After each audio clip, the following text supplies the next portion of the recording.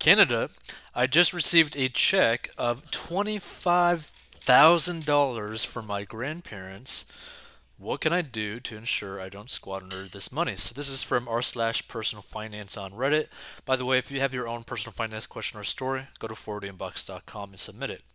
So my grandparents gave my brother and I each a check for $25,000. I am still in shock as I have never received such a large amount of money all at once before. This is not my inheritance, but rather a gift from them. I am 31, live in Canada, and this is my financial situation right now. Which, by the way, before we get into this, make sure you go talk to a tax professional within your country to see if you have to pay any taxes on this gift. Because states, countries kind of differ as to what are the uh, laws, the regulations around this, right? Now, it might be something where you just are able to receive 25 grand from your grandparents, like it's nothing. But I don't know, since that is in Canada. So just be, to be on the safe side, go talk to a tax professional within your country. So this is the financial situation. $8,700 in credit card debt, only one credit card. Student loans paid off. Congratulations for that. Card paid off. Congratulations for that. 62k a year job, which is stable and secure. Thumbs up for that. $925 a month in rent. That is, it seems a little bit high, but let's just calculate that right now in terms of like how much that would actually cost per year, right? So 925 times 12 is $11,100, okay? That's not too bad, right? So $175 a month for car insurance plus $120 a month for my phone. That seems way too high for your phone plan. $80 a month for the internet. Okay. Plus $50 to $70 a month for utilities. I'll just put 70 just to be on the safe side. So $445 for that. Okay. No direct savings. I have a pension through my work, which currently has around 65k in it. 10% of my paycheck goes towards it, and that 10% is matched 100% by my job. Okay. Now, I would definitely keep that 10% going into that whole investment pension thing. But on top of that, I would do my own investing after I pay off the $8,700 in credit card debt. Okay? So my number one goal obviously is to immediately eliminate my credit card debt. I agree. That is the number one thing you need to do. I have paid it down from about $13,000, but honestly just stagnated around 8K and had difficulty paying it off. Okay. Before we continue, that is a scary statement. So, for those that end up listening to this or stumbling upon this, right? You have to think about it like this they are literally making 62k a year, okay? From their job that is stable and secure, right? Their monthly expenses, not counting their rent, adds up to $5,340 basically on the higher end of stuff. So 5340 right? And we calculated the uh, rent amount, right, to be 11,100 per year, right? So we add their total monthly expenses, right? So $11,100, right, per year, plus $5,340 per year, which is $16,440. Where the hell is all the other money going to? Okay? So let's put it like this, right? So their job, right, is 62K a year, right? So 62K minus 16440, okay? So let's do that right now. 62 minus, hold on, hold on, ah, screw it, calculator. 62,000, right?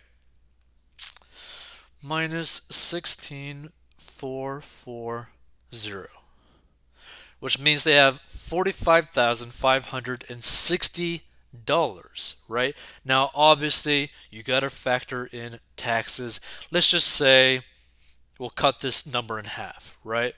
Just to keep it simple, okay? Actually, no. Let's let's do it this way, right? Let's say that, okay, so they're making sixty-two thousand dollars. Let's just cut that by twelve thousand for taxes, right? So they'll have forty k. So forty k, right? Minus sixteen. 440 and again like taxes vary so crazy it's going to be pretty difficult. So let's just say that they now have like basically $23,560 left over after their yearly expenses. And again, I don't know their tax situation, which is going to be hard to understand.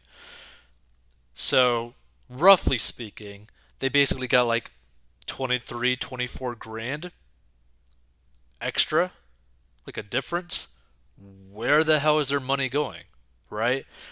Like just looking at this in like a really rough, rough perception, a really rough point of view, this individual has a lifestyle problem.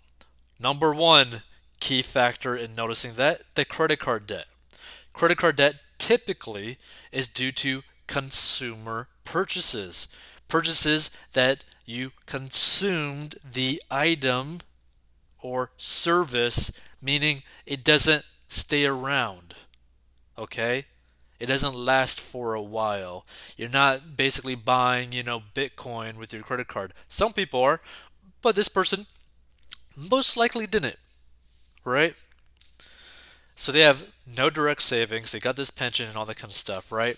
Now, I'm assuming that this 10% of their paycheck goes straight towards their pension, which is a portion of the missing funds, obviously right? And they probably can't do anything about that. So it's probably like a like a mandated 10% out of their paycheck goes straight into their thing.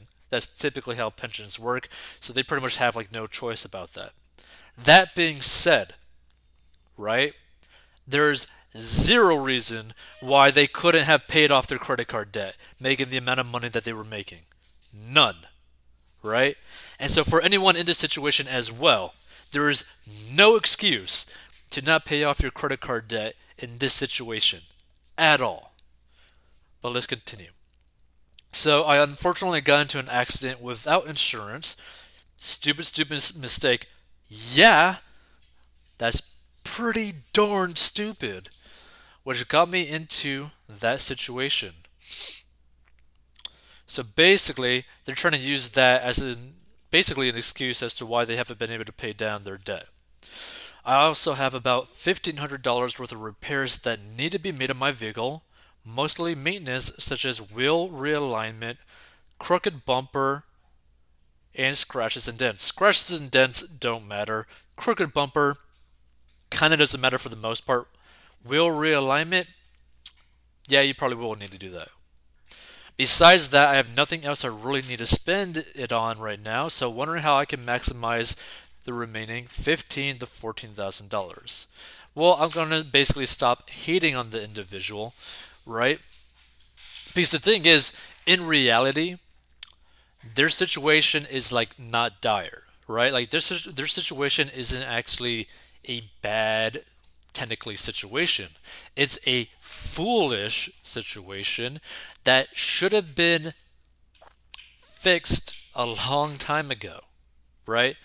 But also, like if you like for the individual that ended up writing this one time, please explain to me how you're spending $120 a month for a phone. Like that is a lot for a phone, for your phone.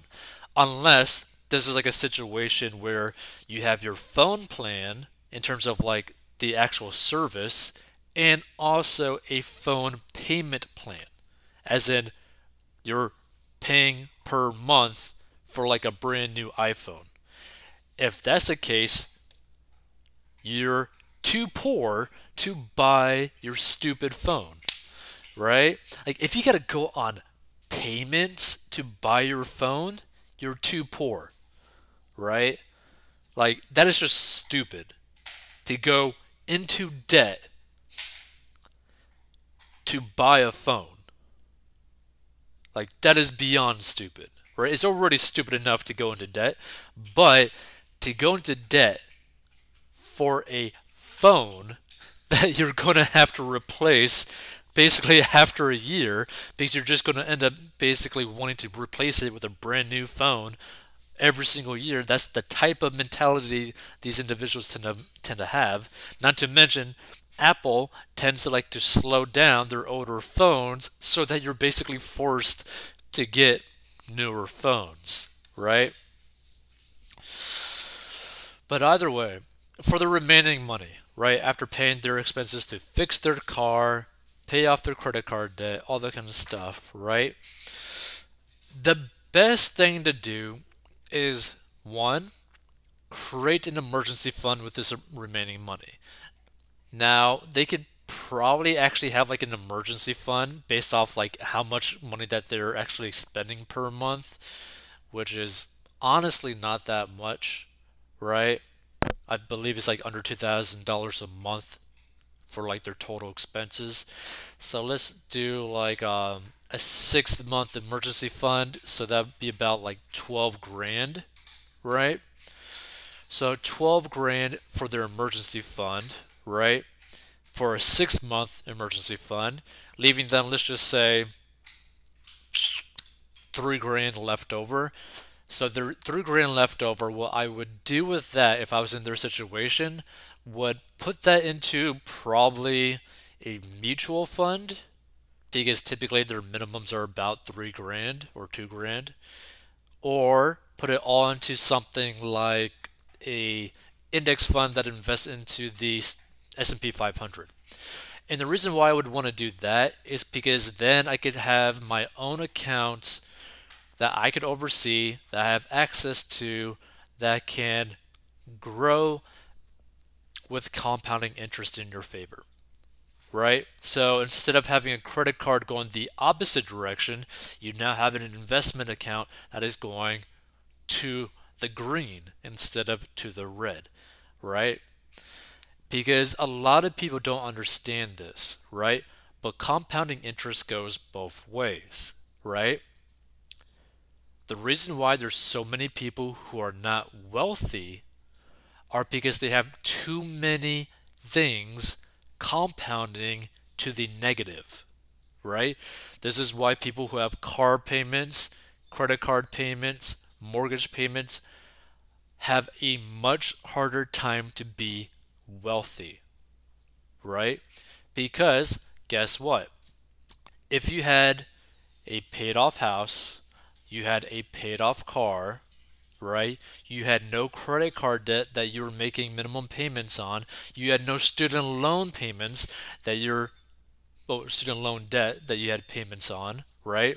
And you had investments basically returning, you know, between 6 to like 12% per year annually.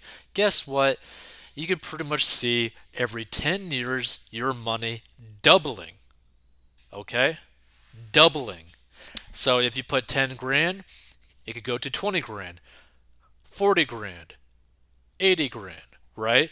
Or depending on how much money you really put in, let's say that you go grind super hard. Let's like let's say this person pays off all their stuff. So like after taxes, let's just say that they could like shove like 30 grand a year, right? If they were to live very cheap, right? 30 grand a year towards investments that are going to compound and double basically every 7 to 10 years, right? So let's just say first 10 years that 30 grand will end up going to 60 grand. Then the next one 120, the next one 240, next one so on and so on and so on. And this is an easy, simple, hands-off way, right? To basically becoming a millionaire without really doing anything. Okay, it is literally the laziest way to become a millionaire, right? It's the laziest way to build wealth. Now, again, this doesn't factor in that you potentially putting even more money into it, right? Like people need to understand this, right? Let's see if I could find the uh, compound interest calculator just so that people can like actually like look at this right so let's just say uh, compound interest calculator investor.gov let's see so the initial investment amount of money that you have available to invest initially let's just say actually let's use that $3000 amount right your monthly contribution Zero. Length and time in years that you plan to save. Let's see, they're what, um, does it say how old they are? They don't. Oh, no, no, 31, 31. So let's just say retirement age, about like 35. So let's just say, yeah, 35. Use that. Estimated interest rate, we'll use 7% range of interest rates above and below the rate set above that you desire to see results for 1%. Compound frequency times per year that interest will be compounded annually calculate. So think about that, right? So a $3,000 investment in 35 years will be 32 grand. A single, never putting any more money into it, will turn into $32,000. Now, let's just say that you actually do like a monthly contribution because now, since you don't have any car payments, any credit card payments, let's just put in now monthly $400 a month, right? Calculate it now. Well, bam, $695,566.76. Okay? And by the way, this is with an estimated interest rate of basically about 7%, okay? Which is very freaking easy to actually get, okay? Just look at some of Vanguard's mutual Vanguard's mutual funds. You could look at basically any S&P 500 index fund, right? They average over 12% a year average, okay? So let's put it at 12, right? Because it, they have shown over the past 10 plus years to be able to do this, right? So in 35 years, after an initial investment of 3 grand, of putting $400 per month now, in 35 years, this individual will have two million $230,383.64. This is the importance of compound interest. But also think about it like this, right? $400 a month is basically a car payment for a lot of cars, for a lot of people. $400 a month is lower than a lot of people's student loan payments that they pay for decades. Okay?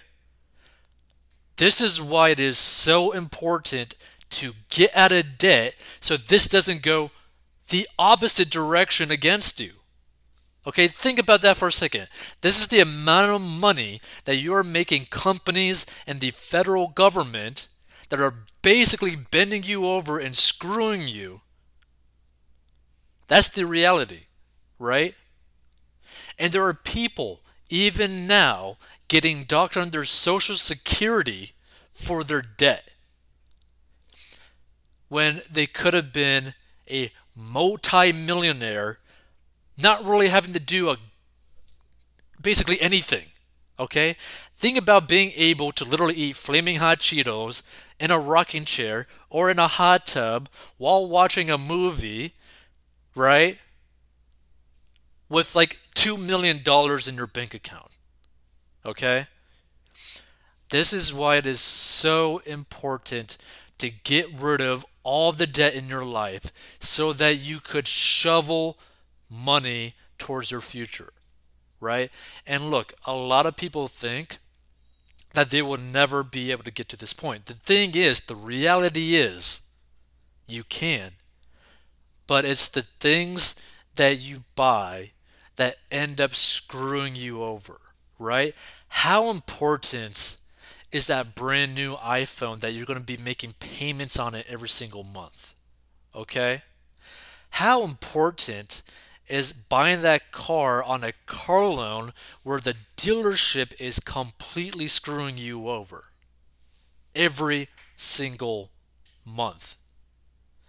How important is it to go into student loan debt or to keep having student loan debt because you think that the government is going to wipe your butt if you do public service for 10 years, which they basically screwed over 98% of the people that applied for it, that went through the time to actually do it, meaning they did over 10 years and got screwed over. Is it worth it? Is it worth that loss of income? Is it worth this pain? Is it worth not becoming a millionaire by the time that you retire? Like, like this is the craziest thing about this, right? Like you don't even have to do anything crazy. Right? That is what's sad about all this. And for those that end up stumbling upon this, stay tuned for more right? If you want to learn how to get out of debt, go to 4dmbox.com to learn the very simple way that anyone can do to get out of debt. And another thing that you really got to understand too no one is going to care more about your life than you.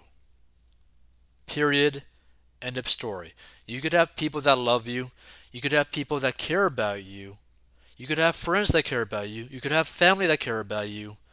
But in reality, you have to take control over your own life to get the results that you actually want. Stay tuned for more. Submit your own personal finance question or story at 4dmbox.com. Either way, imagine that you're basically missing out on basically $2 million.